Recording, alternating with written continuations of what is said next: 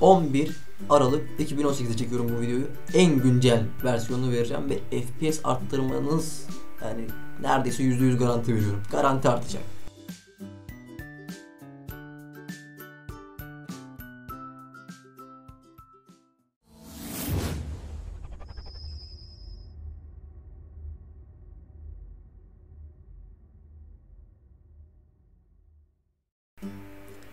Herkese merhaba dostlar.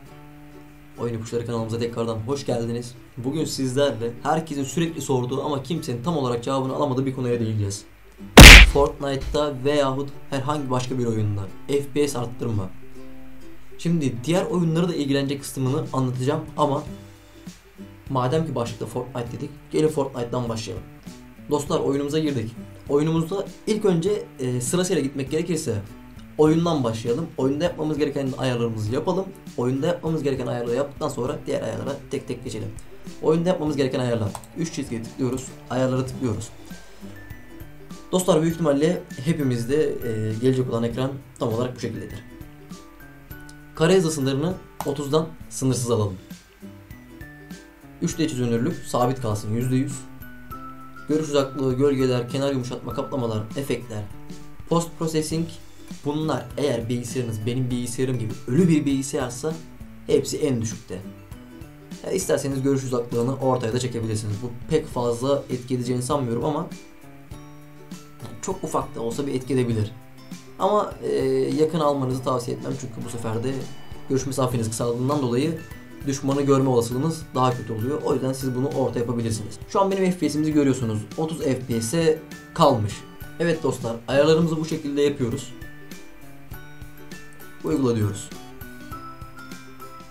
Uyguladıktan sonra bakın şu anda benim 30 olan FPS'im 110 90 120 arasında git gel yapıyor. Neredeyse bir artı yüzlük FPS artışımızı sağladık. Şu anda FPS'imiz 40'a kadar düştü. 40-50 arasında gidiyor. Evet dostlar, şimdi oyun içi yapmamız gereken ayarları yaptık. Şimdi ise oyuna başlamadan önce yapmamız gereken ayarlar var. Size şimdi aşağıda vereceğim linkten bir dosya var. Bu dosyayı indirip sizden şunları yapmanızı isteyeceğim. Şu an bizim yaptığımız en güncel sezon 7'nin hatta şöyle söyleyeyim 11 Aralık 2018'de çekiyorum bu videoyu. En güncel versiyonunu vereceğim ve FPS arttırmanız yani neredeyse %100 garanti veriyorum. Garanti artacak. Buradan ayarlara giriyoruz. Ayarlardan en aşağıya iniyoruz. İnelim inelim inelim. Fortnite. Bunu açıyoruz arkadaşlar. Burada ek komut satırı değişkenleri diyor ek komut satırı değişkenlere tıklıyoruz ve burada bize bir boş alan veriyor. Buraya bir şeyler yazmamızı istiyor. Size aşağıdan vermiş olduğum linkten tıklayarak indirin dosyayı. İndireceğiniz dosya şu olacak. Fortnite FPS arttırma olarak. Burada başlatma seçeneklerine tıklıyoruz. Ve dostlar şu üst satırın tamamını kopyalayıp boş alana yapıştırıyoruz. Lakin unutmamız gereken bir şey var. Burada bir değişiklik yapmamız gerekiyor. O da şu ee, Preferred Processor. Burada sıfır olarak işaretli. Burada sizin bilgisayarınız kaç çekirdekliyse, kaç tane sanal işlemcisi varsa onu yazıyoruz. Benim bilgisayarımda iki tane var. Bilgisayarınızın kaç tane sanal çekirdekli olduğunu bilmiyorsanız, kaç sanal çekirdek var bilgisayarınızda bilmiyorsanız başlatma seçenekleri klasörünü açtıktan sonra orada çekirdeğinizin kaç tane olduğunu bilgisayardan nasıl öğreneceğinize dair bir ipucumuz da var. Oradan deneyip siz de öğrenebilirsiniz kaç çekirdek olduğunu. Ayarlardan geriye çıkalım. Dostlar bu ayarı da tamamladık. Şimdi yapmamız gereken 3. aşama. Dostlar gelelim 3. seçeneğe.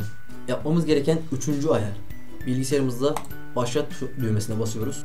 Çalıştır yazıp çıkaran uygulamaya yüzde işareti app app data ve tekrar yüzde işareti yazıyoruz ve enter'a basıyoruz. Burada bizi Roaming e, klasörüne atıyor. Biz buradan bir tık geriye yapıp lokale giriyoruz. Lokalde Fortnite Game klasörünü buluyoruz. Tıkladık. Giriyoruz. Save. Burada e, config klasörü var arkadaşlar. Config klasörüne girdik. Crash Bird Client sizin hiçbir işinize yaramıyor. Sadece oyunda almış olduğunuz kırılmalar, hataları burada depoluyor. Başka hiçbir işe yaramıyor. Burada bu dosyalar ne kadar çoksa sizin bilgisayarınızı kastırma ihtimali de o kadar çok diyebilirim. Buradakilerin hepsini silelim. Hiçbir işimize yaramıyor. Sonrasında bir geri gelelim. Hemen Crash Report Client'ın altında Windows Client var bu sefer de. Size vermiş olduğumuz linkten indirmiş olduğunuz dosyayı açtığınızda arkadaşlar orada config ayarları var. Config ayarlarındaki 3 dosyayı alıp kopyalayıp bu Windows Client'in içine yapıştırıyoruz. Hedefteki dosyaları değiştir deyip yüklemesini bekliyoruz. Yükleme bitti. Okey. Yine tekrardan çalıştır deyip burada bu sefer yüzde bu sefer büyük harflerde temp Trabzon, Edirne, Manisa, Paris ve tekrar yüzde yapıyoruz. Tamam'a tıklıyoruz. Bu sayfada bakın bayağı bir öge var. Bu sizin bilgisayarınızın RAM'i. Burada işe yarayan işle, e, işlevsel dosyalar da var, işe yaramayan dosya, dosyalar da var. Peki ben bunlardan bileceğim de neye göre sileceğim derseniz şimdi dostlar şunu yapacağız. CTRL A yapıp hepsini seçelim. Toplam 77 dosya varmış. Özelliklerine bakmak istiyorum. Benim RAM'imden şu an 316 MB yiyor. Çatır çatır yiyor. Tabi bu benim bilgisayarımın kasmasına bir nebze de FPS'imin düşmesine sebep oluyor. Ne yapıyoruz dostlar? Hepsini işaretledik. Sile tıklıyoruz. Burada eğer zaten aynı bunun gibi durdurulmasının sakıncalı olan bilgisayarın kullandığı bir işlemci varsa bu yazı çıkıyor. E biz buna atla diyoruz. O dosyada zaten sadece bir taneymiş. Bunun da boyutu 9.61. Şimdi bakın bilgisayarımız biraz daha canavar gibi olacak. Biraz daha FPS'imiz baya baya artacak. Biraz daha değil baya baya artacak. O kasma donma tamamen gidecek. Bunu yapıp FPS'inde artma, kasma sorununda azalma olmayan arkadaş olursa gelsin yüzüme tükürsün. Twitch'te de yayın yapıyorum. Gelsin bana söylesin. Tabi bunları yaptıktan sonra çöp klasörümüzü de boşaltmayı unutmuyoruz. Eğer boşaltmazsak siliyoruz ama yine bunlar bilgisayarda kalıyor. Çöp klasörümüzü boşaltmayı unutmuyoruz. Dördüncü olarak dostlar tekrardan başlat düğmesine basıp çalıştır yazıyoruz. Ceyhan Manisa Denizli CMD yani komut dosyalarına giriyoruz. Burada Cip Her Ceyhan İzmir Paris Hatay Edirne Rize boşluk slash W küçük W iki nokta üst üste büyük C yazıp Enter'a tıkladığımızda bu komut ne işe yarıyor diye sorarsanız bu komut bilgisayarınızda bu zamana kadar çöp kutusuna attığınızda sonrasında sağ tıklayıp dönüşüm kutusunu boşalt dediğinizi sildiğinizi düşündüğünüz bütün dosyalar aslında bilgisayarda sabit kalıyor. Onlar silinmiyor. Bu komutu yazıp e, Enter'a tıkladığınız anda silinmeyen bütün ne kadar dosya varsa hepsini siliyor. Ya bu sayede ne oluyor tabii ki? RAM'iniz de bir nebze artmış oluyor. Alanınız da bir nebze artmış oluyor. Bilgisayarınız bir tık daha rahatmış oluyor. Ama bunu yapmak zorunda değilseniz, ben yapmayacağım da diyebilirsiniz. Yani çok fazla etkiler mi CPU'yu? Çok fazla etkileyeceğini sanmıyorum ama deneyebileceğiniz şeylerden biri olarak da bunu gösteriyorum. Bunu kimse göstermemiştir büyük ihtimalle. Milyonlarca bu şekilde video var ama bunu kimsenin gösterdiğini sanmıyorum. Ve son olarak dostlar. Bunu yapmak da size kalmış. İster yaparsınız ister yapmazsınız. Bu tamamen size kalmış bir olay. Ama ee, bu üretici firmanın da tavsiye ettiği bir şey. Bunu Intel bilgisayar olanlara söyleyeyim ben. İşlemcisi Intel olanlara söyleyeyim.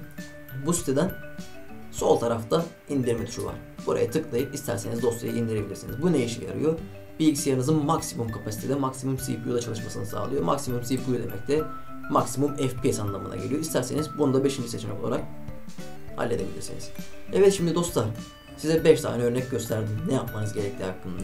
Bunları yapıp da FPS'im artmadı abi diyen sanmıyorum ya. Ha belki inat olsun diye söyleyen olabilir ama ben olacağını sanmıyorum. Bunun da burada %100 teminatını veriyorum. Daha ben ne yapayım? Dostlar burada işimiz bitti. Artık o zaman ne yapıyoruz?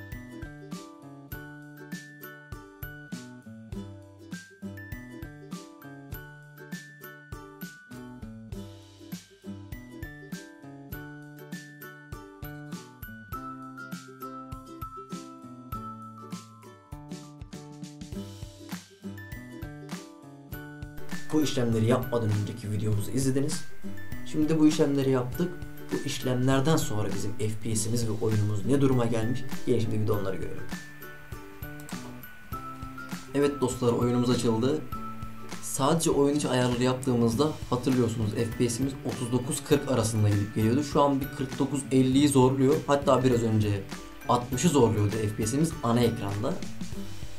Şimdi arkada e, kayıt yapma programını açtığım için FPS'i bir tık düşürdü. E, benim kayıt yapma programını kapattığımda alacağım FPS şu an gördüğünüz FPS'in 10 bilemediniz 20 minimum üzerinde olacak. Bakarken ona göre yapalım. Yani şunu söyleyebilirim ki şu an yükleme ekranı bile çok aşırı net. Ben bu kadar olacağını açıkçası tahmin etmiyordum. Ben bile tahmin etmiyordum yani. Dostlar şu an oyuna başladık ve ya emin olun arkada kayıt programı açık olduğu halde ne en ufak bir kasma var. Oğlum bu ne netlik lan? Şş, bu benim bilgisayarım. Oğlum benim bilgisayar gibi çöp bir bilgisayar bile şu anda bu şekilde alıyorsa bu oyunu şu an ben ev, oyun içi FPS'i 40 seviyelerinde 50 daha dur bakalım yere inmedim yere bir ineyim kasma yok takılma yok donma yok FPS'imiz 58-60'lara çıkıyor ben burada öleceğim büyük ihtimalle ama en düşük grafikler olmuş hali emin olun şu an yani anlatamam size mükemmel ya. Mükemmel vallahi. İki video arasındaki farkı izleyin ve buna siz karar verin dostlar. Neyse beni izlediğiniz ve değerli vaktinizi bana ayırdığınız için çok ama çok teşekkür ederim. E bir zahmet abone olma tuşuna ve beğenme tuşuna basmayı unutmayın. Dostlar ee, dediğim gibi ya bu benim yaptıklarımı yapıp da bir artı kazanamayacak, FPS'inde yükseliş görmeyecek birisi olacağını sanmıyorum. İnanın çok çok işe yarıyor. Ya ben Twitch yayınları yapıyorum. Benim Twitch yayınlarımda bile bu kalitede göremezsiniz. İlk defa bu kalitede ben çok şaşkınım. Dediğim gibi arkada OBS programı açık olduğu halde ben 60-70 FPS'i gördüm. OBS'i kapattığımda bu 80'i 90'ı çok rahat görebilir. Benim laptopum gibi çöp bilgisayarda dahi bu hale geldi. Clickbait atacağım artı 100 FPS belki artı 200 FPS yapacağım ama ya çöp bilgisayarda bile minimum bir artı 60 FPS alıyorsunuz. Denemenizi tavsiye ederim. Denedikten sonra da olup olmadığı hakkında görüşlerinizi alt yorumlara bekliyorum. Hepinizi seviyorum. Allah'a emanet olun. Kendinize iyi bakın. Hoşçakalın.